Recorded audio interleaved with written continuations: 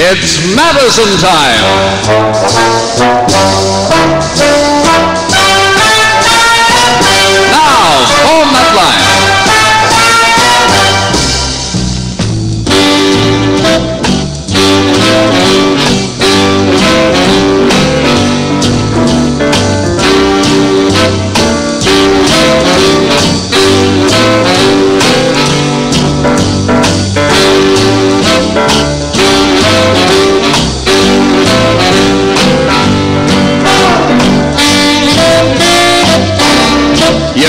good.